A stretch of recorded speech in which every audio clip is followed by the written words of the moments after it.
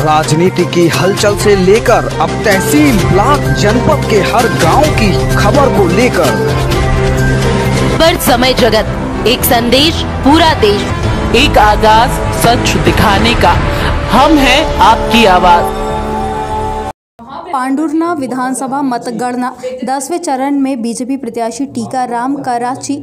अट्ठाईस हज़ार दो सौ बयासी और कांग्रेस के विधायक प्रत्याशी नीलेश उइके बयालीस हज़ार पाँच सौ अठहत्तर से आगे हैं। कांग्रेस प्रत्याशी इस समय चौदह हज़ार दो सौ पंचानवे वोटों से आगे चल रहे हैं। समय जगत न्यूज़ के लिए जिला ब्यूरो चीफ छिंदवाड़ा से अजीत कुमार पांडे की रिपोर्ट। पर समय जगत, एक संदेश, पूरा देश।